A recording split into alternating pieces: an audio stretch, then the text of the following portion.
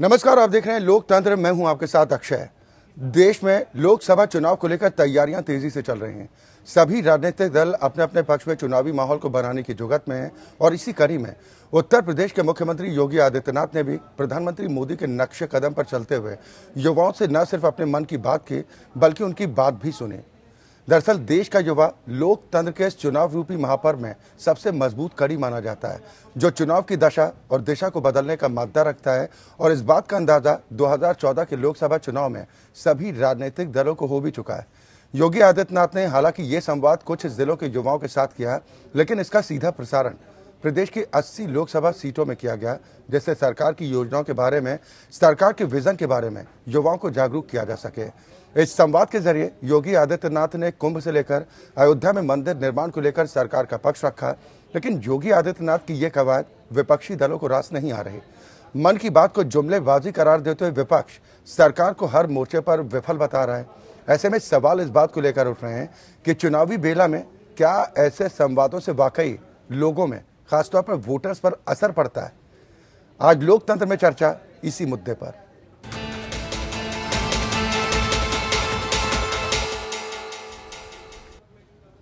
दरअसल, देश के सबसे बड़े सूबे के 80 सीटों वाले उत्तर प्रदेश में भगवा लहराने के लिए बीजेपी ने युवाओं को मनाने का प्रयास शुरू किया। तेईस करोड़ जनसंख्या वाले उत्तर प्रदेश में पचपन फ़ीसदी युवा हैं और इसीलिए मुख्यमंत्री योगी आदित्यनाथ युवाओं को मनाने की कोशिश में है। योगी ने युवाओं से मन की बात की, सरकार की योजनाओं के बारे में उन्हें अवगत कराया। युवाओं ने भी योगी आदित्यनाथ से सवाल किए। अब सवाल यह है कि युवा एक बार फिर क्या बीजेपी पर विश्वास करेंगे? देश में चुनाव की तैयारियाँ चल रही हैं। चुनावी महाभारत में जीत हासिल करने के लिए सियासी पार्टियाँ जनता को लुभाने में लगी हैं। देश में सबसे ज़्यादा संख्या युवाओं की है। करीब पचपन फ़ीसदी युवा लोकतंत्र की सबसे बड़ी लड़ाई में महत्वपूर्ण भूमिका निभाते हैं। युवा जिसे चाहे, उसे अपने मताधिकार से मालामाल कर दें और जिसे चाहे, उसे कंगाल। और इसीलिए सियासी पार्टियों की नज़र हमेशा से युवा वोटर्स पर रही है। बीजेपी ने पचपन फ़ीसदी युवाओं के बल पर 2014 के चुनाव में विपक्षी पार्टियों को धूल चटाई थी। अब एक बार फिर बीजेपी युवाओं को साधने में जुट गई, ताकि मिशन 2019 में एक बार फिर विपक्षी पार्टियों को मात दी जा सके। मोदी कई बार युवाओं से मन की बात कर चुके हैं। अब बीजेपी शासित राज्यों के मुख्यमंत्री युवाओं से मन की बात के ज़रिए अपने कामों का हिसाब दे रहे हैं। यूपी के मुख्यमंत्री योगी आदित्यनाथ ने युवाओं से अपनी मन की बात कही और युवाओं ने भी अपनी समस्याएँ बताई। युवाओं ने इस दौरान मुख्यमंत्री योगी आदित्यनाथ से कहा कि नामुमकिन को मुमकिन में बदलने का नाम मोदी। योगी ने कहा कि राम मंदिर का रास्ता ज़रूर निकलेगा। उन्होंने भारत के मन की बात मोदी जी के साथ अभियान के तहत वीडियो कॉन्फ्रेंसिंग के ज़रिए युवाओं से सीधा संवाद किया। ये संवाद मेरठ, आगरा, गोरखपुर, कानपुर और वाराणसी के युवाओं के बीच हुआ। जिसका सीधा प्रसारण 80 लोकसभा क्षेत्रों में किया गया, ताकि मिशन 2019 से पहले युवाओं के बीच अच्छा मैसेज जा पाए।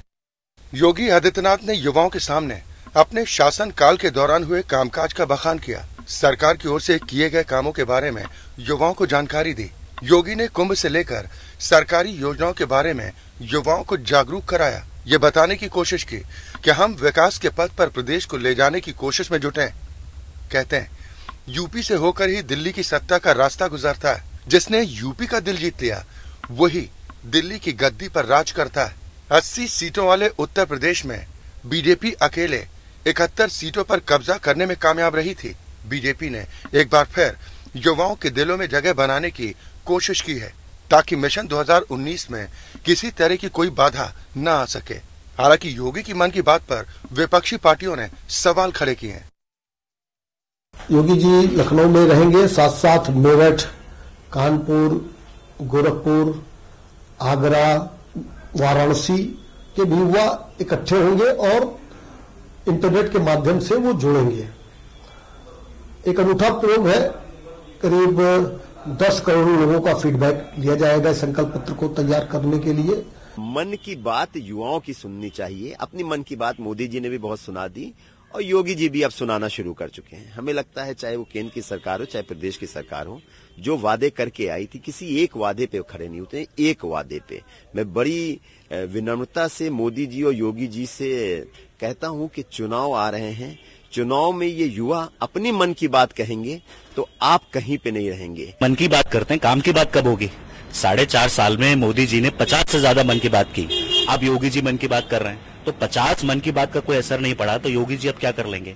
देखिए, मन की बात छोड़कर हम समझते हैं कि काम की बात करनी चाहिए। जिस तरह से समाजवादी पार्टी का काम आज बोल रहा है और जिसका ये उद्घाटन पे उद्घाटन कर रहे हैं, फीते पे फीते काट रहे हैं तो हम तो ये चाहेंगे कि जो संकल्प पत्र वादे करके आए थे, वो ये पूरा करें, मन की बात होती रहेगी। योगी ने तो यूपी के युवाओं से मन की बात की और युवाओं को प्रदेश में हो रहे कामों के बारे में बताया। युवाओं को ये समझाने की कोशिश की कि बीजेपी ही प्रदेश के विकास को ऊंचाइयों तक ले जाने का साहस रखती है। युवाओं के भविष्य को उज्जवल बना सकती है। लेकिन देखना होगा कि युवा बीजेपी पर इस बार कितना भरोसा कर पाते हैं। मोदी और योगी जी की मन की बात को कितना समझ पाते हैं। बड़ा सवाल ये भी है कि एक बार फिर यूपी का युवा बीजेपी की विजयी रथ को दिल्ली तक क्या पहुंचाएगा? ब्यूरो रिपोर्ट एपीएन यहाँ तो सवाल इसी बात को लेकर उठ रहे हैं कि चुनावी बेला में ऐसे संवादों से क्या वाकई लोगों में, खासतौर पर वोटर्स पर असर पड़ता है? आज हम इसी पर चर्चा करेंगे। सभी खास मेहमान हमारे साथ जुड़ चुके हैं। सबसे पहले अपने दर्शकों की मुलाकात अपने आज के सभी सम्मानित अतिथियों से। मेरे साथ नोएडा स्टूडियो से प्रशांत पाठक जी जुड़े हैं। आप नेता हैं पीएसपीएल के, यानी कि प्रगतिशील समाज पार्टी लोहिया के। लखनऊ से चार खास मेहमान हैं। कुमार अशोक पांडे जी हैं, जो भारतीय जनता पार्टी को रिप्रेजेंट करने के लिए हमारे साथ मौजूद हैं। प्रवक्ता हैं पार्टी के डॉक्टर मुन्ना अलवी साहब हैं। आप नेता हैं समाजवादी पार्टी के। सदफ जाफ़र जी हमारे साथ इस कार्यक्रम में शामिल हैं। आप प्रवक्ता हैं कांग्रेस पार्टी की और वरिष्ठ पत्रकार हसीब सिद्दीकी साहब हमारे साथ इस कार्यक्रम का हिस्सा हैं। बहुत स्वागत है आप सभी का इस कार्यक्रम में शामिल होने के लिए। शुरुआत कुमार अशोक पांडे जी, मैं आपसे करूँगा। कितना भरोसा है बीजेपी को ऐसे संवादों के ज़रिए युवा वोटर एक बार फिर बीजेपी के साथ जाने को प्रेरित होगा? देखिए आज भारत का ब्रांड बन चुके हैं नरेंद्र मोदी भाई मोदी। भाई नरेंद्र मोदी आज भारत का ब्रांड है और योगी उनके दिए हुए जो भी कार्य हैं उनको यहाँ पूरी कर्तव्य निष्ठा से निभा रहे हैं। आज का युवा समाज हमेशा से ये बहुत पुरानी परंपरा रही है कि उस ओर जमाना चलता है जिस ओर जवानी चलती है। तो हमारा जो भारत का युवा है आज युवा पूरे विश्व में सबसे युवा राष्ट्र है। तो ये युवा बहुत से कार्य में भाग, भागीदारी करना चाहता है वो समाज में परिवर्तन लाना चाहता है वो देश में परिवर्तन लाना चाहता है और उसकी लड़ाई युवा लड़ रहा है। आज का जिम्मेदार युवा जो सोच रहा है हम उसको उसी सही मार्गदर्शन से करने का काम कर रहे हैं और उसको वो नेतृत्व देने की क्षमता पैदा कर रहे हैं। कि युवा अपने नेतृत्व से इस मार्ग को इस समाज को और मज़बूत करे और क्रियाशील करे। आपको क्या लगता है कि वोटर सरकार के कामों का पांडे जी आपको क्या लगता है कि वोटर सरकार के कामकाज का आकलन नहीं करता है? या फिर जब सरकार योजनाएँ गिनाती है बताती है तब वो जान पाती है कि सरकार हमारी क्या कर रही है? नहीं। बात आकलन की नहीं है। बिल्कुल वोटर जो है उसमें तत्परता से रहता है। निश्चित तौर पर मन की बात करने से उनके मन की बात भी हमको मालूम पड़ती है। हमारे मन की बात नहीं होती वो। वो मेन तौर पर जनता के मन की बात होती है। यहाँ तो आज तक ऐसी ऐसी स्थिति है। आज ये जो नेता आपको गली गली जो शहर शहर घूमते दिख रहे हैं ये बेडरूम पॉलिटिशियंस थे। अभय जी मुझे कोई अक्षय जी मुझे कहने में कोई संकोच गुरेज नहीं है कि ये बेडरूम तक सीमित रहते थे। ये ड्राइंग रूम तक सीमित रहते थे। ये कभी एयर कंडीशन कमरों को छोड़ के ज़मीन पर जाते नहीं थे। आज इनको मजबूर होना पड़ रहा है क्योंकि आज हम जनता के बीच में हैं। एक एक संवाद जनता से सीधा हो रहा है। सीधा एक व्यक्ति प्रधानमंत्री से बात कर सकता है। एक ऐसी व्यवस्था पर हमने काम किया है जिसमें समाज का हर तबका हम ये नहीं कहते कि सरकार किसी एक व्यक्ति के लिए है या समाज में किसी एक का काम सोच रही है। हम प्रत्येक तबके का विकास की बात कर रहे हैं और जहाँ पे समाज में एक जाति एक धर्म की चर्चा शुरू हो गई थी वहाँ पे सबका साथ सबका विकास बहुत भारी पड़ा है ये आप देख रहे हैं। चाहे चलिए हमारी कोई योजना तो हो, आपके चाहे हो प्रधानमंत्री आप आप अपनी पार्टी के प्रधानमंत्री आवास बात तो बिल्कुल कहेंगे मैं दोबारा आपके पास आऊँगा लेकिन आप लोगों अच्छा, की इन, इन बातों पर विपक्ष को भरोसा नहीं है। मैं दोबारा आपके पास आऊँगा फिर पूरा मौका दूँगा आप अपनी बात पूरी कीजिएगा। लेकिन सदफ जाफ़र जी मन की बात करने में मन की बात सुनने में आपत्ति क्यों होनी चाहिए? आप लोगों को किसी ने रोका क्या कि आप मत कीजिए मन की बात? आप दिल की बात कर लीजिए क्या फ़र्क पड़ता है? हम मन की भी बात करते हैं हम दिमाग की भी बात करते हैं हमें किसी ने रोका नहीं है ना संविधान किसी को अलाउ करता है कि रोक सके। मन की बात जब आप करते हैं तो मेरा कहने का मकसद ये है कि अ, जन की भी तो बात सुनेंगे। कि सिर्फ़ मन ही की बात सुनेंगे। अच्छा आप ना जाइए गाँव तक। मुझ जो लोग आपके दरवाजे आ रहे हैं विधानसभा पे जो शिक्षा मित्र सर मुंडा रहे हैं हाँ या फिर जो बीआरडी के बच्चे नन्हे नन्हे मर रहे हैं उनको जो कफन तक नहीं दिया जा रहा है उन्हीं तौलियों में लपेट के वापस माँ के हाथ में दे दिया जाता है। उसी स्कूटर पे जिससे आस पे बैठ के आई थी कि वो बच्चों का इलाज कराएगी उसी पे बैठ के वापस ले जाती है। या रेप विक्टिम जब तक पेट्रोल डाल के अपने ऊपर आग लगाने नहीं खड़ी हो जाती तब तक नहीं सुनते हैं आप। हाँ तमाम ऐसे गोंडा फतेहपुर बांदा बदायूं में लड़कियों ने महिलाओं ने जान दे दी क्योंकि क्लीन चिट मिल गई उनके रेपिस्ट को और कुछ भी नहीं किया गया। जहाँ विवेक तिवारी अपनी जान से जाता है जहाँ सुबोध राठौर अपनी जान से जाता है क्या उन लोगों की व्यथा कोई सुनेगा? कि सिर्फ़ अपनी मन की बात करके आप जो है गंगा पार कर लेंगे? नहीं आपको क्या लगता है बड़ी कि बड़ी इस इस तरह के बड़े बड़े प्रचार बड़ी बड़ी चीज़ें। नहीं सदर जाफ़र जी इस तरह का अगर संवाद कोई भी करता है आज बीजेपी कर रही है कल को कोई और भी करे तो क्या इस तरह के संवाद की ये गारंटी मानी जाए क्या?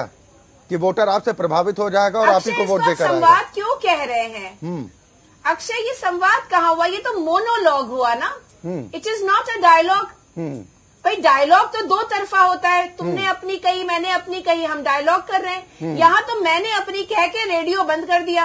हाँ हाँ। दूसरों की कहा सुनी। दूसरा तो सर फोड़ के दरवाजे पे मर रहा है। ठीक। दम तोड़ा है किसान। डॉक्टर चल के मुन्ना अलवी साहब, दरवाजे पे मुन्ना आलू गिरा देता है। चले ठीक जाफ़र जी मैं आपके पास आऊँगा। हालाँकि जिस जिस इंसेफेलाइटिस का आपने ज़िक्र किया वो वाकई में काफ़ी दर्दनाक था। उसका दर्द सिर्फ़ वही परिवार समझ सकते हैं जिसने उस उसको भुगता है। और वो लेकिन इतने लेकिन तकरीबन ये समस्या कर ये समस्या पूर्वांचल में तकरीबन चालीस बार 40 इंसेफ्लाइटिस से 40 कोई- सालों से है इस 38 बार 40 सालों से। इंसेफ्लाइटिस में 90 परसेंट पांडे साहब पांडे साहब। 90% गिरावट आई है। पांडे साहब मैं आपको मौका दूँगा आप जवाब दे दीजिएगा। वैक्सीन का मैं मैं मैं जवाब दे दूँगा लेकिन मैं ये ध्यान दिलाना चाह रहा था सदर जाफ़र जी को कि ये समस्या तकरीबन 38-40 सालों से पूर्वांचल में थी। इस पर काबू पाने के ऐसा नहीं कि पहले प्रयास नहीं किए गए सभी सरकारों ने किया मौजूदा सरकार ने कितना किया, नहीं किया, इसका जवाब तो उनकी पार्टी के प्रवक्ता देंगे। लेकिन जो इंसेफ्लाइटिस की बात कर रही हैं, उस पर काफ़ी हद तक काबू पाने की बात कही जा रही है कि असर दिख रहा है और इसमें कितनी सच्चाई है इस पर तो हम सिद्दीकी साहब से जवाब ले लेंगे फाइनली अगस्त में बच्चे मैं ले लूँगा। मैडम मैडम बयानबाजी पर मत जाइए ना। इस तरह की बयानबाजी अगर करेंगी मतलब आप याद दिलाएँगी तो तमाम ऐसी आपकी पार्टी के नेताओं के बयान आ जाएँगे जिस पर आपको जवाब देना मुश्किल होगा। है ना? हम बिल्कुल नहीं चाहते। हम बिल्कुल भी ऐसा नहीं चाहते ना मैडम। तीन दशक हो गए आप आप लोगों की बातों पर लोग भरोसा नहीं कर रहे हैं। तो इसके पीछे कोई वजह रही होगी निश्चित तौर पर। जिसका आकलन आप लोगों ने किया भी होगा और करना भी भरोसा कर चाहिए मैं अब दोबारा आपके पास जनता तय करेगी। मैं मैं वही तो कह रहा हूँ।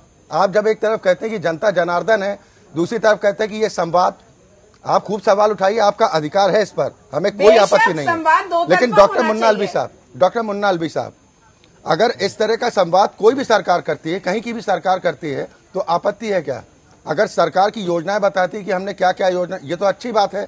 जिनको नहीं पता कि सरकार क्या कर रही है उन्हें पता तो चले कि कर रही है तो क्या कर रही है और उसका कितना फ़ायदा मिल रहा है।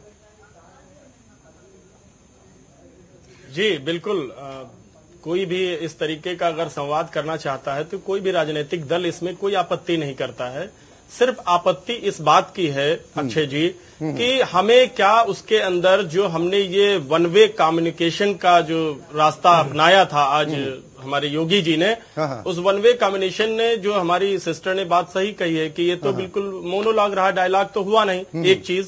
अस्सी आपने बताया कि लगभग जो हमारी लोकसभा सीटें वहाँ तक युवाओं तक ये अपनी बात पहुंचाना चाहते थे। लेकिन जब युवाओं की जब बात हो रही थी तो कम से कम ये ध्यान दे लेना चाहिए था कि हम जिस मुँह से हम उनको युवाओं को अपनी तरफ़ आकर्षित करने के लिए जा रहे हैं अपनी तमाम जो प्रेम पिटारा खोलने की बात कर रहे हैं तो उसमें कम से कम देख लेते कि यहीं लखनऊ की सरजमीन पर कितने जो है बेरोजगार नौजवान यहाँ पर आए और चाहे जो है आपने बीएड टीटी या इसके अलावा आपने शिक्षा मित्र ऐसे कितने दिव्यांगों तक पे यहाँ लाठी चलने का काम आपसे छुपा हुआ नहीं है। तो इस कंडीशन में आपको युवाओं की अगर बात कर रहे थे आप तो कम से कम उन युवाओं की भी बात कर लेनी चाहिए थी कि अगर भारत सबसे बड़ा जो युवा देश है तो उत्तर प्रदेश के अंदर आदरणीय योगी जी ने ही कहा है कि सबसे ज़्यादा युवा यहाँ है। तो उनमें भी मैं ज़िम्मेदारी के साथ कहता हूँ कि ग्रामीण अंचल में सबसे ज़्यादा युवा है। उन ग्रामीण अंचल में अपने बूढ़े बाप को रात में फ़सल जो रखाता है बेचारा अन्ना मवेशियों से वहाँ पर वो बेचारा बेरोजगार जो कभी दिन में रोज़गार पाने के लिए कहीं पर जो है मजदूरी करता था वो आज मजदूरी जाने के लायक भी नहीं बचा। वो पूरी पूरी रात बैठकर वहाँ पे अपने जो है खेतों को जो है अपने पेट भरने के लिए अपनी फ़सल बचाने का काम कर रहा था। उसकी बात कर ली जाती। जब आपने नोटबंदी की थी उसमें कितने परिवार बहुत सारे लोग जो है हमारे बीच में नहीं रहे चले गए उस त्रासदी में। उनके परिवारों में भी नौजवान हैं। क्या उनके घरों तक जाकर उनकी कोई रोज़गार की कोई व्यवस्था की गई होती उनकी बात कर ली गई होती? जीएसटी के बंद होने से जो यहाँ के तमाम नौजवान जो कारोबार जो छोटा कर सकते थे जिन्हें यहाँ पर मुहैया नहीं है अभी तक कोई रोज़गार वो अपना एक छोटा सा कोई लघु उद्यम कर सकते थे उनकी बात कर ली गई होती बात नहीं की गई। दूसरी सबसे बड़ी चीज़ कि ये इन सब चीज़ों से मैं तो कहता हूँ ये आप मन की बात कहते हैं मैं तो इसे मनगढ़ंत बात कहता हूँ। मन की बात नहीं हो सकती। मैं- मैं मन दोबारा की। बात आप- आपकी हो सकती है सारी देश बातें की नहीं हो सकती आपने सारी बातें कह ली बिल्कुल ठीक है। जी। जहाँ पर आपको सरकार की कमियाँ नज़र आती हैं विपक्ष का ये दायित्व भी बनता है कि वहाँ पर सरकार को याद दिलाया जाए कि आप कहाँ पर गड़बड़ रास्ते में हैं आप अपना रास्ता सही वही कार्य तो हम लोग कर रहे हैं। ठीक है मैं आपके पास दोबारा आऊँगा। वही कार्य तो हम कर रहे हैं। पाठक जी ये ज्ञान विपक्ष में बैठने के बाद ही आता है क्या राजनीतिक दलों को? देखिए ज्ञान की बात नहीं है। आप प्रदेश की समस्याओं को समझने की कोशिश करें अक्षय जी। बड़ा ही बड़ा ही विडम्बना का एक दौर चल रहा है जब से बीजेपी की सरकार अस्तित्व में आई है। चाहे वो भारत सरकार रही हो बीजेपी की चाहे वो उत्तर प्रदेश सरकार रही हो। जैसे कि अभी अ, हमारी कांग्रेस की प्रवक्ता ने एक बात बोली कि जब बच्चे मर रहे थे तो उन्होंने एक बड़ा बड़ा ही बड़ा अशोभनीय बयान दिया कि अगस्त में तो बच्चे मरते हैं। तो ये ये आपकी संवेदनशीलता नहीं आपकी संवेदनहीनता को आपको दर्शाता है। आज आप युवाओं के मन की बात कर रहे हैं। आपने जाकर के जो उत्तर प्रदेश में बारह जवान शहीद हुए उनके घर जाकर के उनके दिल की बात ली उनके परिवारों की दिल की बात कर लेते जाके। बड़ा अच्छा लगता मैं भी कहता कि हाँ उत्तर प्रदेश का मुखिया एक ऐसा व्यक्ति है जो देश में शायद मुख्यमंत्री। है? शामली दो शहीद नहीं नहीं आप ये समझिए ना कि किस तरीके से आप 12 शहीद हुए उत्तर प्रदेश के अंदर। और सबसे ज़्यादा अत्यधिक जो शहीद हुए वो केवल उत्तर प्रदेश के अंदर हुए।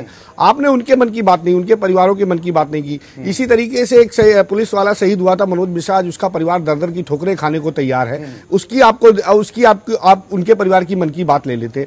या अन्य जो अभी पिछली जो घटनाएँ हुई सुबोध सिंह के परिवार का क्या हुआ उनके मन की बात आपने नहीं ली। किस तरीके से उन्होंने एक उत्तर प्रदेश में जिस तरीके से दंगा सांप्रदायिक दंगा भड़काने से रोकने के लिए उन्होंने अपने प्राण दिन में छोड़ कर दिए। उत्तर प्रदेश के अंदर प्रवक्ता है जो सदफ जाफ़र जी आप उनके बयानों से इत्तेफाक नहीं नहीं हैं बिल्कुल बिल्कुल। और और मैं एक बात और कहना चाहूँगा। कि हाँ। ये अपनी बातें थोपने का काम आप बंद करें युवाओं को आप बरगलाने का काम बंद करें कुछ कर सकते हैं उनके युवाओं के लिए तो आप रोज़गार पैदा करने का एक रिएक्शन इस पर लिए कुछ रोज़गार का अवसर देने का काम करें। हसीब सिद्दीकी साहब हालाँकि इस बार के मन की बात में जहाँ तक जो जानकारी मिली है कि इस बार मन की बात सिर्फ़ कही नहीं गई है। मुख्यमंत्री ने मन की बात सुनी भी है। कुछ युवाओं ने भी अपनी बात रखी है।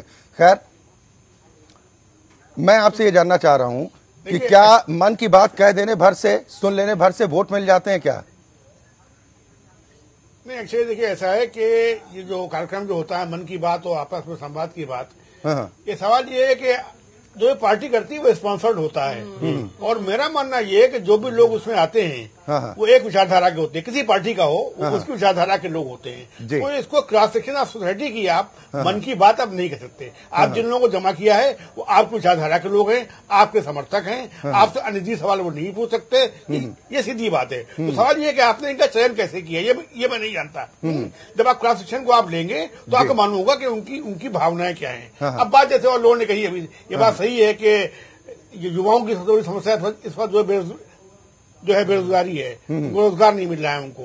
किसानों की समस्याएँ। ये सब एक बहुत ही वाइड रेंज समस्याएँ हैं और ये सेक्शन ऑफ़ सोसाइटी से आप जब बात करेंगे जब उनको चयन करेंगे सही लोगों का तभी आपको मालूम होगा कि वो क्या चाहते हैं कहना। आपने एक अपने विचारधारा के लोग जमा कर लिए उनसे अपनी बात कह दी उनकी हिम्मत नहीं होगी कि अपने नेता से जो है सवाल करने की ये एक सीधी बात है। तो कोई तरीका अगर ऐसा हो कि जिसमें वास्तव में मन की बात जनता के मन की बात आम आदमी के मन की बात मालूम करने का प्रयास किया जाए कोई भी पार्टी करे तो उसका जो है फ़ायदा होता है वो वोट में बदल सकती है। उससे जो जो जैसे अभी हो रहा है कुछ पार्टीज़ कर रही हैं हाँ, हाँ। मैनिफेस्टो बना रही हैं शहरों शहरों में जा रहे हैं और लोगों को बुला रहे हैं क्रॉस सेक्शन ऑफ़ सोसाइटीज को उनसे बात कर रहे हैं बस वे फीडबैक ले रहे हैं उससे वो जो भी तैयार करेंगे। वो समझ में नहीं आता है लेकिन लोगों जमा कर लिया आपने उनसे जो है और बात कर ली वो आपकी पार्टी के हैं आपके लोग हैं हाँ। बड़े ने- नेता से जो है कौन कौन सवाल करेगा हाँ। तो मुझको नहीं लगता कि इसका कोई बहुत बड़ा उपयोग होने जा रहा है अब देखिए मैं अभी आज ही देख रहा था सोशल मीडिया के ऊपर छह साल छह वर्ष पूर्व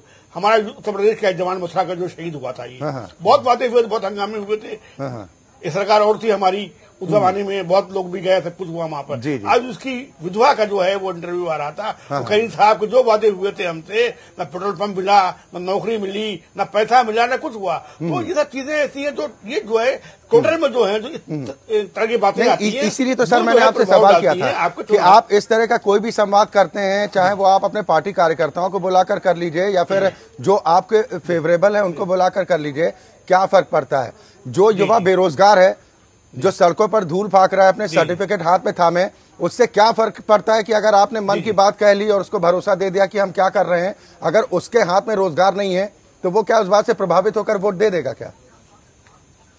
नहीं नहीं, कतई कतई नहीं देगा कतई कतई वोट नहीं देगा। आप ऐसी जगहों पर जाइए मैं मानता हूँ कि अगर अगर जहाँ कुछ लोग जमा हुए हैं प्रदर्शन हो रहा है हंगामा हो रहा है लोग डिमांड कर रहे हैं वहाँ आप जाइए वहाँ जाके क्रॉस सेक्शन के लोग आते हैं उनसे जाके आप बात कीजिए आप। हाँ, हाँ। उनसे पूछिए साहब कि क्या आपकी समस्याएँ जी। हैं। तब लगता है कि हो सकता है वहाँ से आपको सही फीडबैक मिले। चलिए यानी ये कह सकते हैं ये चुनावी हैं। हथकंडे होते हैं जिसको सभी दल अपनाते हैं हालाँकि ये बात अलग होती है कि अगर कोई दूसरा दल अपनाता है तो कहीं आपत्ति दिखाई देती है लेकिन जब खुद वो काम करते हैं तो उन्हें लगता है कि ये तो हमारा अधिकार है और इस अधिकार से हमें कोई वंचित नहीं कर सकता ये बात ठीक भी है राजनीतिक दलों के पास अधिकार है कि वो अपने विचारों को बात के बारे में सुना है आपने? अपनी नीतियों किसी और दल ने कभी इस तरीके का थोपा गया है बयान हाँ नहीं मैं मैं दोबारा आऊँगा ना सर और जो लाठी लाठी चार्ज का जो आपने ज़िक्र किया रोज़गार को लेकर बात किया है तो आपसे भी तो पूछेंगे और साथ ही पीएसपीएल के जो प्रवक्ता प्रतिनिधि हमारे साथ हैं, उनकी पार्टी के जो मुखिया हैं,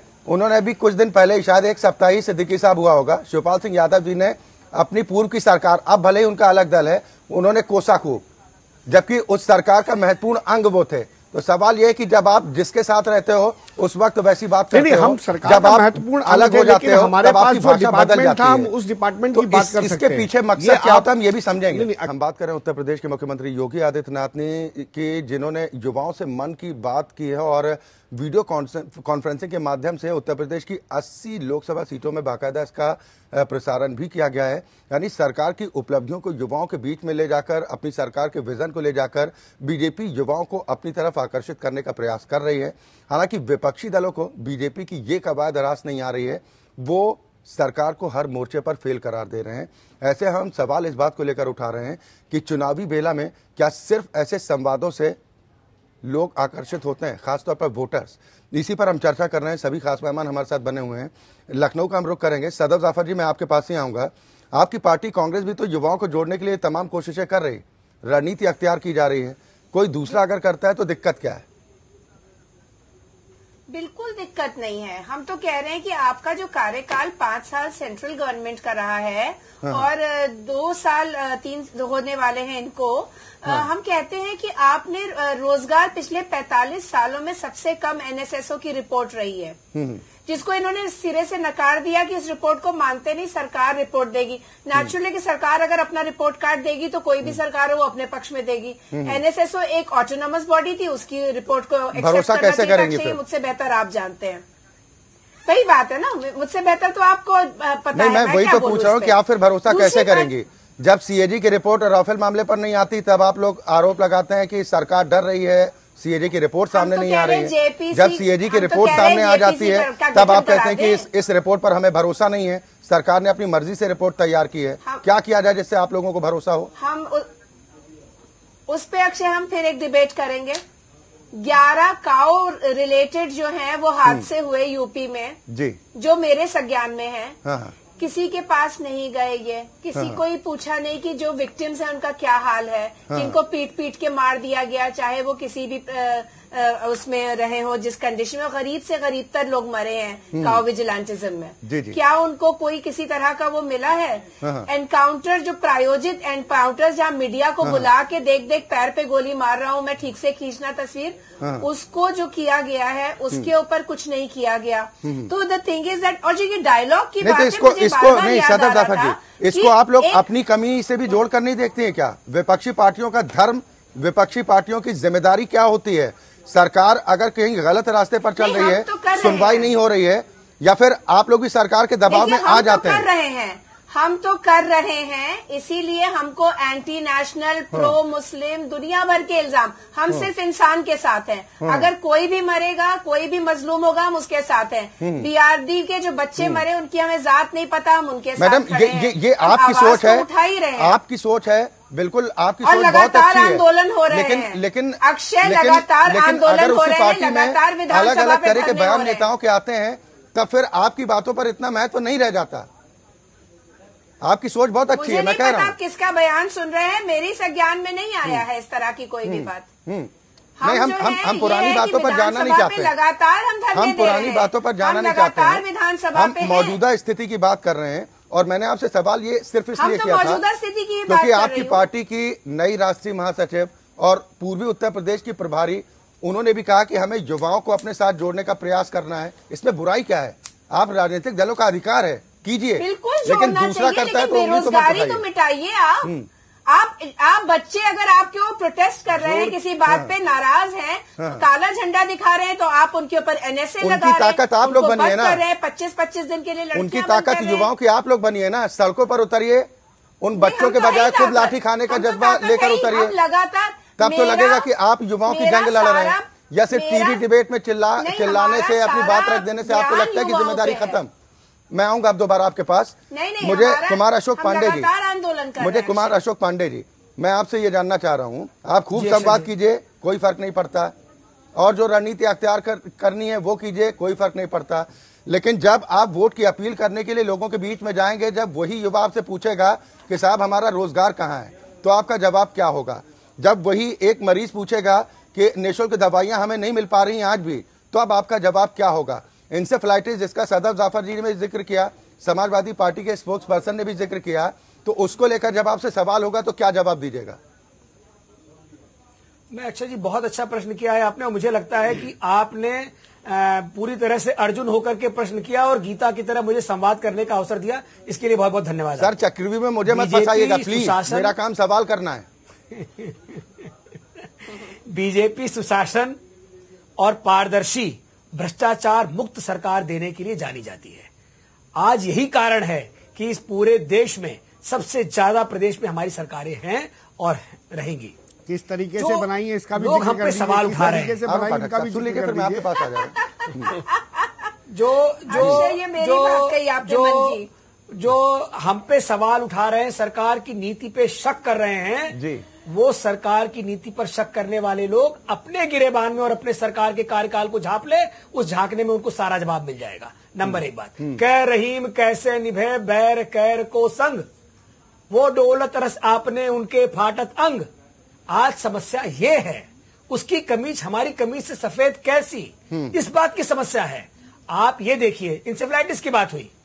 आपने बहुत अच्छा जवाब दिया इंसेफ्लाइटिस 40 साल पुराना इस देश का रोग है और मैं उसी पूर्वांचल गोरखपुर का रहने वाला बेटा हूँ जहाँ पे सबसे ज़्यादा मौतें होती थी। अभी हमारी बहन शादाब जी बहुत अच्छी प्रवक्ता है बहुत अच्छा बोलती हैं। इन्होंने एक बात कही कि साहब इन्होंने जो है वो आ, वहाँ पे ये कहा बयान की बात करें तो ऐसे ऐसे बयान इनके हैं कि आपको शर्म आ जाएगी। नहीं लेकिन सर, लेकिन आपने बयान ये- ये- से रोका ये है, कहकर आप बयान पे नहीं जाऊँगा। को अपनी पार्टी के नहीं कर सकते हैं कि जो अगर ये कहते हैं जो अगर ये कहते हैं कि अगस्त के महीने में बच्चों की जान जाती है तो इसको भी तो उचित नहीं ठहरा सर सर सर मैं आ रहा हूँ। मैं उस जाँच में शामिल था। बतौर प्रवक्ता सबसे पहले मैं वहाँ पहुँचा था। हाँ। और मैंने वहाँ जो लाइन बोली थी कि वो एक बहुत बड़ी साजिश से इनकार नहीं किया जा सकता हम्म। निश्चित तौर पर वो साजिश उसका रिज़ल्ट आपके सामने आ गया है नहीं, क्या रिज़ल्ट बताइए ना। लोग थे वो डॉक्टर ये समी करके थे, क्या थे? मैं नाम थोड़ा सा भूल रहा हूँ। पूछा जाए। लगातार मुझे से बताइए। ज़रूर आप अक्षय और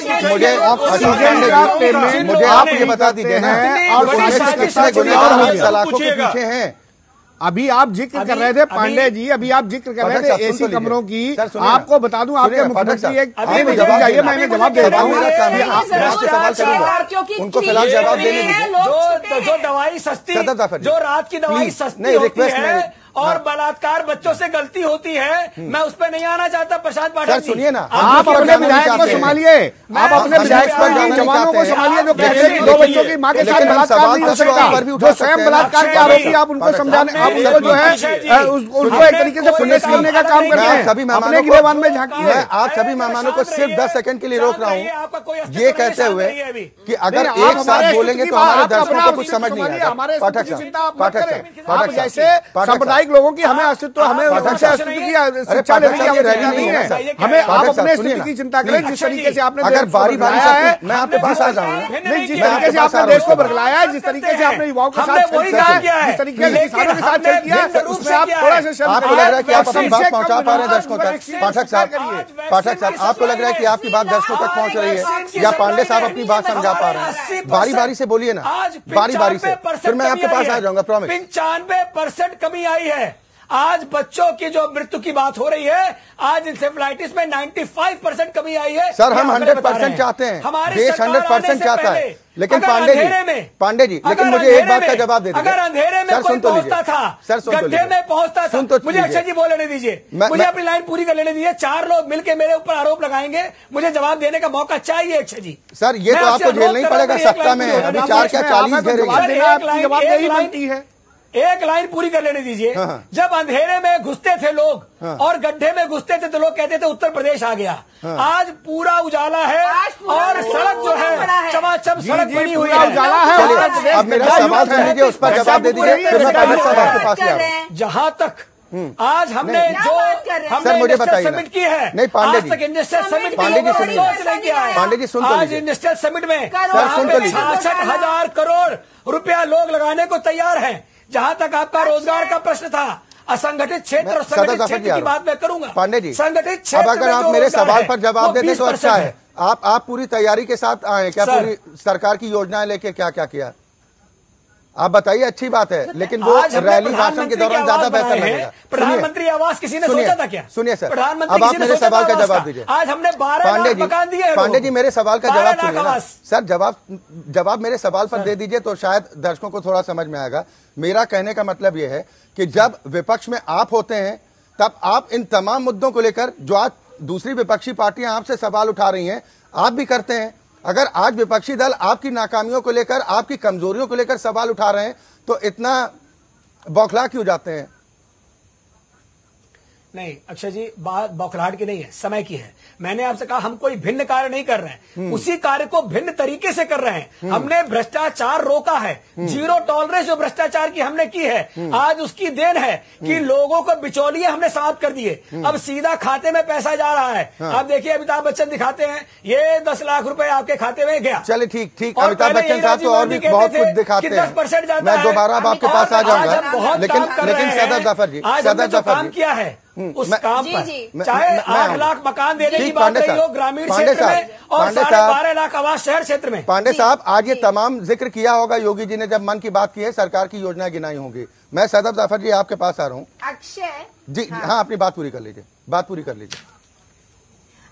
अक्षय सीधी सी बात इतनी है कि जो ये बात कर रहे हैं भ्रष्टाचार का ज़ीरो टॉलरेंस इनके अपने एमएलए चिट्ठियाँ लिख रहे हैं कि भाई हमारे यहाँ कोई सुनने वाला नहीं है भ्रष्टाचार हो रहा है। जो ब्लैकलिस्टेड रिवर फ्रंट में कंपनी है उसी को उठा के आपने जो है 200 करोड़ का सीवर का इनकी सरकार ने उठा के टेंडर दे दिया। क्या भ्रष्टाचार? What is this I wash जो जिस तरह का यूपी समिट में पैसा खर्च हुआ है क्या उसका आधा पैसा भी आया है? तो जो जिन लोगों को विस्थापित किया गया सफ़ाई के नाम पे शहर की सफ़ाई हो गई हाँ। उन लोगों को कहाँ उनका जो है वो उनको हम्म। किया गया है। गरीब सब्ज़ी वालों की सब्ज़ी मंडियाँ जो उजाड़ी गई हैं हम्म। कहाँ बिहार शहर में जाके उनको बसाया गया है कि आज कोई खरीदने वाला नहीं है? हम्म। किसकी बात सुन रहे हैं? हम्म। अपने मन की बात कर रहे हैं अपनी हम्म। मन की कर रहे हैं। हम्म। गरीबों की आप सुनते तो इसका फ़ायदा उठाइए ना चुनावी बेला सदर जाफ़र जी। की आप सुनते हम भी तो यही सलाह दे रहे हैं।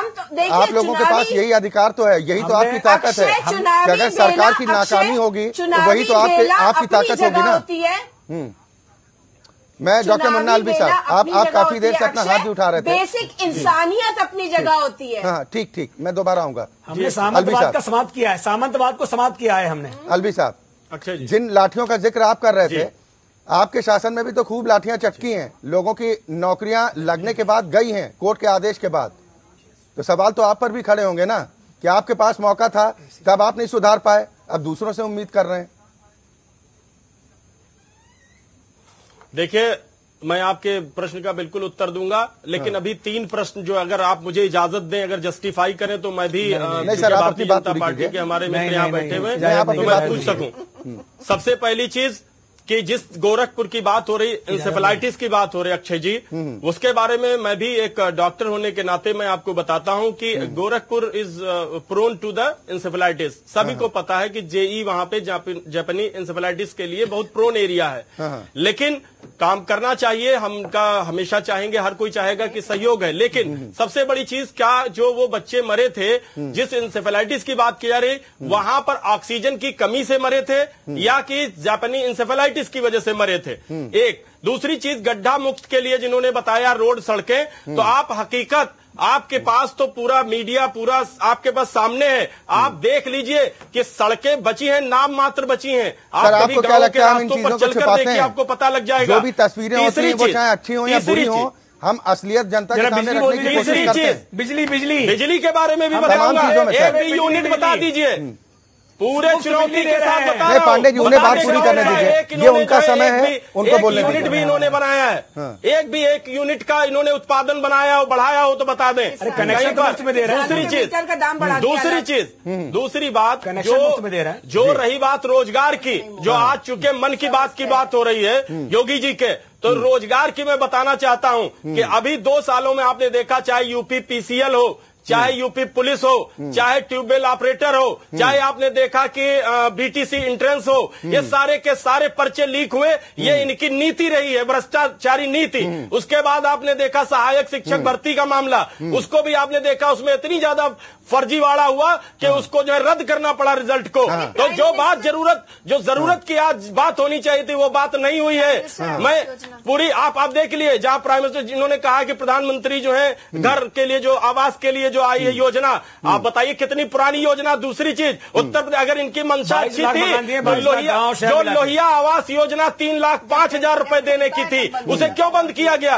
गरीबों को अगर छत देने का इनका मिशन था तो तीन लाख पाँच हज़ार रुपए का रोज जो हम लोगों ने मकान देने का काम हमारी समाजवादी सरकार ने करके दिखाया था। पचपन लाख महिलाओं को जो है हम पेंशन देने का काम कर रहे थे। कहा अगर इनकी मंशा सही थी इनकी मंशा कार्य करने की नहीं है लेकिन मन की बात थोपने की ज़रूर है। अभी आज मुझे लगता है कि अब आपने अपनी बात पूरी कर ली होगी आपने योगी मैं जी की प्रशांत बात पाठक जी काफ़ी देर से इंतज़ार कर रहे हैं प्रवक्ता जी के प्रशांत बात पाठक जी। सुन रहे थे आप जो जो दावे समाजवादी पार्टी के प्रवक्ता की तरफ़ से किए जा रहे हैं के हमने कितना जितना काम किया हैं। आज की सरकार फीता काटने अगर का काम कर रही बोलते है हैं तो हार्वर्ड आम जनता ने भरोसा क्यों नहीं किया? तारीफ़ हुई है लैपटॉप ठीक सर, सर, अब उनकी वो बारी, प्लीज़। आप नहीं समझ पाएँगे। आप सिर्फ़ बाबाओं को आप सिर्फ़ बाबाओं को डॉक्टर अलवी साहब, डॉक्टर अलवी साहब। लैपटॉप नहीं समझेंगे। डॉक्टर अलवी साहब आऊँगा ना? आपने अपनी बात पूरी कर ली अब दूसरों को भी सुन लीजिए। प्रशांत पाठक जी मेरा सवाल ये है कि जो तमाम बातों का ज़िक्र अभी कर रहे हैं समाजवादी पार्टी के प्रवक्ता जी। जिस वक्त उनकी सरकार थी, उस वक्त ये तमाम सवाल उठते थे और उस वक्त आप लोग भी समाजवादी पार्टी की सरकार का हिस्सा थे। लेकिन अब अलग होने के बाद आप लोगों के भी स्वर बदल गए। आप लोगों ने भी तमाम मुद्दों पर भ्रष्टाचार को लेकर जो बात कर रहे हैं, आपकी पार्टी के मुखिया भ्रष्टाचार के मुद्दे को लेकर उन्होंने प्रश्न किया कि पिछली सरकार में हुई गड़बड़ी, जबकि वो सरकार का महत्वपूर्ण अंग थे। देखिए प्रगतिशील समाजवादी पार्टी के मुखिया जो आदरणीय शिवपाल जी ने जो कहा वो कुछ न कहीं ना कहीं कुछ बातें उन्होंने सत्य बिल्कुल अपने स्तर पे सही बात करी। जब तक हम सत्ता पक्ष में रहे और जब तक आदरणीय नेताजी का सत्ता पक्ष पे कंट्रोल रहा मतलब उनके उनके आदेशानुसार सरकार चली तब तक सरकार सुचारू रूप से चली और जैसे ही वो एक ए, ए, एक हाथ में गई एक तरीके से एक डिक्टेटरशिप में वो सरकार चली गई और जिस तरीके से उत्तर प्रदेश में घटनाक्रम होने शुरू हुए तो वो कहीं ना कहीं जो है एक जो एक भ्रष्टाचार की बू दर्शाते थे क्योंकि हमारे समाजवादी नेताओं को ये बात पसंद नहीं थी क्योंकि हम लोग बात करते हैं आम जनमानस की गरीब की। तो उसको लेकर के मतभेद पैदा हुए और मतभेद और मनभेद बढ़ते बढ़ते वो यहाँ तक पहुँचे कि किस तरीके से अंतर कलह हुई और सभी ये सभी प्रदेशवासियों को देशवासियों को ये सारी चीज़ें विदित हैं। ठीक है? तो अब दूसरी बात रही कार्यों की। आपने अभी एक सवाल इन्होंने किया आदरणीय बीजेपी के प्रवक्ता जी ने बोला कि हमारे मंत्री जी ने क्या किया? आपको याद दिला दूँ कि सिंचाई मंत्री रहते हुए और पीडब्ल्यू मिनिस्टर होते हुए जो कार्य उन्होंने किए आज तक योगी सरकार केवल उनका फीता काटने का काम कर रही कोई नया काम आपने नहीं किया। उस टाइम पे नलकूपों की व्यवस्था करी गई किसानों के लिए। असिंचित क्षेत्रों में नलकूपों को दिया गया जहाँ बिजली की समस्या थी वहाँ पे सौर पैनल वाले नलकूप दिए गए। आप उस आप आप बात करेंगे विकास की किस तरीके से नहरों की झराई कराई गई। जो छोटी छोटी जो होते हैं जो बम्बे टाइप के होते हैं उनकी झराई कराई गई और अच्छी तरीके से किसानों को पूरी तरीके से फ़सलों को ये बात तो आप तमाम कह रहे हैं कि जब तक हम सरकार में थे तब तक बेहतर चली और उसके बाद सरकार ने सब इसके बाद देखिए जब जब जहाँ डिक्टेटरशिप आज की बीजेपी सरकार में क्या है केवल दो लोग हैं बीजेपी में। आज भारतीय जनता पार्टी सरकार नहीं बची आज मोदी और शाह सरकार बची है जो केवल और केवल डिक्टेटरशिप से समाजवादी पार्टी इतफाक नहीं रखती। वो तो कहती कि प्रगतिशील समाज पार्टी ये तो बीजेपी की बी टीम है। अब ये देखिए कहने को आप अब आप कोई कुछ भी कह ले अगर बीजेपी की बी टीम थी तो सबसे ज़्यादा लड़ने वाली ये टीम ही सामने थी।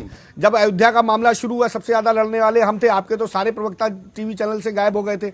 आपको जवाब नहीं ना कांग्रेस का कोई प्रवक्ता सामने आ रहा था ना कोई बीजेपी का प्रवक्ता सपा समाजवादी पार्टी का प्रवक्ता सामने आ रहा था ना कोई क्या नाम आपका इसका बहुजन समाजवादी पार्टी का प्रवक्ता सामने आ रहा था। उस टाइम पे पूरी लड़ाई एक मज़बूत विपक्ष के तौर पे एक अकेले विधायक ने यानी आदरणीय शिवपाल जी ने लड़ी और यहाँ से पूरे प्रदेश को उन्होंने हिलाकर रख दिया और राज्यपाल जी को उनकी बात माननी पड़ी। जिस तरीके से हमने लिया दिया गया है वो आप कीजिए। नहीं नहीं। यही काम आपको मिला है। नहीं आप आपकी नाराज़गी आप अपने- नहीं आ रही है। आप अपने अपने नेताओं की आप अपने नेताओं की कारगुजारियों से समझ लीजिए मीटिंग्स तरीके से नेताजी ने कल आपको आईना दिखाने का काम किया है। किस तरीके से अखिलेश जी को कल नेताजी ने आईना दिखाने का काम किया है। आपकी हैसियत बताने तो का काम कह सकते हैं। ठीक है पाठक साहब अब मैं आपके पास आऊँगा लेकिन सिद्दीकी साहब एक मेरा सवाल ये है कि इस बात से क्या इग्नोर किया जा सकता है? क्योंकि आज तो ब्रांडिंग का जमाना है अगर कोई अपनी ब्रांडिंग करता है अपनी पार्टी की तो उसमें किसी तरह की कोई परेशानी होनी चाहिए। आप भी कीजिए। या फिर इस बात का डर विपक्षियों को है कि इसमें बीजेपी ज़्यादा फ़ायदा उठा ले जा सकती है इसलिए घबराहट है विपक्षियों में। देखिए अक्षय जी जो मैंने पहले ही बात कही थी हर पार्टी को अधिकार है कि अपनी ब्रांडिंग करे अपनी बात कहे अपने लोगों के बीच में जाए इसमें किसी को कोई आपत्ति नहीं होना चाहिए। ये तो एक सर्वमान सिद्धांत है। मैं एक बात कहता हूँ सबसे बड़ा मंच होता है। मंच होता है विधानसभा और विधान परिषद या मान लीजिए लोकसभा। जी। उत्तर प्रदेश में अभी हाँ। बजट पास किया गया है बिना बहस के। मैंने अपनी ज़िंदगी में देखा। हंगामे में तो ये हुआ है। हंगामा था तीन चार दिन और सरकार ने जो है तुरंत जो है वो वो, वो, वो बैठक बुलाई कार्य मंत्रालय समिति की और एजेंडे को अमेंड किया और बजट पास कर दिया। इस बार देखा पहली बार मैंने बिना हंगामे के बिना किसी शोर शराबे के आपने जो है एजेंडा अमेंड कर दिया। पूरा बजट बिना किसी आपस में विचार विमर्श के आपने पास कर दिया नंबर एक बात। तो आपको ये विश्वास नहीं है कि आप बात करें एक प्लेटफॉर्म पर बात करें। नंबर दो बात आइए। देखिए कुछ मुद्दे चुनाव में ऐसे होते हैं जो बिल्कुल जो है खामोश मुद्दे जिसे मैं कहता हूँ। पार्टियों की हिम्मत नहीं होती उठाने की। हाँ, हाँ। जैसे अभी हमारे अरबी साहब ने बात की। बहुत बड़ा मुद्दा है मैं बता रहा हूँ फिर बता रहा हूँ आपसे बहुत बड़ा मुद्दा है चुनाव का ये अन्ना जानवरों का। लेकिन ये हिम्मत नहीं है सापा की ये हिम्मत नहीं है भाजपा की ये हिम्मत नहीं है कांग्रेस की कि इसको मुद्दा बनाए। वो डरते ही है कि इसके बीच में गाय है। कि ऐसा ना हो कि मुद्दा पोजिशन हो जाए। हम्म, और इसको मुद्दा जो है जो रूलिंग पार्टी वो भी नहीं बना रही है। जी। वो सबसे बड़ा मुद्दा है चुनाव में हैं। जिसको कोई बात नहीं कर रहा है। आप देख लिया चुनाव के बाद बाद में कहिएगा आप ये साहब कि यही मुद्दा था जिसकी वजह से इसका जो है चुनाव पर प्रभाव पड़ा। हसीब साहब, बहुत- देखिए, बहुत बात पार्टी देखिए, मैं- मैं- जो है, है है अक्षय जी अक्षय जी मैं एक बात कहूँगा अभी बातें कर रहे हैं हमारी बहुत पाठक जी हमारे भाजपा के प्रवक्ता जी, आप देखिए उत्तर प्रदेश इतनी बड़ी असेंबली वहाँ कोई विधायक रोए कि मेरे मेरे दस लाख रुपए चोरी हो गए और मेरी रिपोर्ट नहीं लिखी जा रही। रिपोर्ट लिखते आपको तो रिपोर्ट झूठी है। रिपोर्ट ना लिखी जाए किसी व्यक्ति। कौन है व्यक्ति? जो एमएलए जो विधायक है तो कानून बनाता है बैठ के उसकी रिपोर्ट ना लिखी जाए। बात करते हैं भ्रष्टाचार की। आप चले जाइए यूपी का सबसे जो जरखेज इलाका जिसे हम कहते हैं वो एक आपका जिला है जहाँ बैठे हुए और जिला हमारा सोनभद्र है। आप जाके पूछिए वहाँ। क्या स्थिति है? कितना रेट बढ़ गया है हमारी रिश्वत का तो ये सब मुद्दे साहब जवाब दीजिए। पार्टी के अंदर का क्योंकि ये ये सरकार के जहाँ लोग सड़कों पे तलवार लेके चलते थे हसीब साहब आप निष्पक्ष बात रखिए। इसी उत्तर प्रदेश की सड़कों पे लोग तलवार लेके निकलते थे। इसी सड़कों पर एसपी सिटी को जला दिया गया है।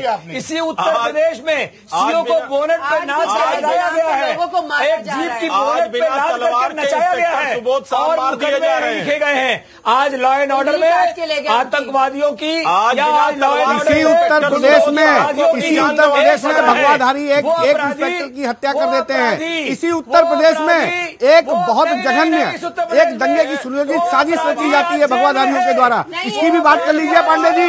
ये ये नहीं आपको याद आता है। आप बात करते हैं। आप हमेशा किसी भी डिबेट को जब आपके पास जवाब नहीं होता तो आप केवल उसे सांप्रदायिकता का रंग देने का काम करते हैं। केवल और केवल सांप्रदायिकता का रंग देने का काम करते या हैं। जवाब नहीं हुआ करे, टेलीविज़न पे मत आया करिए। बैठिए अपने घरों में। जवाब नहीं है, घर बैठिए। टेलीविज़न पे मत आइए।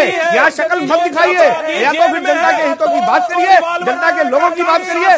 यहाँ रंग देने का काम मत करिए आप। अंदर मर्डर करने का काम कर रहा हो। ये काम चलिए अब उम्मीद करता हूँ आपको मैंने जानबूझ के थोड़ा सा वक्त दे दिया कि आपको ये ना रहे कि हमें बोलने का मौका नहीं दिया। आप आपस में खूब लड़ लीजिए।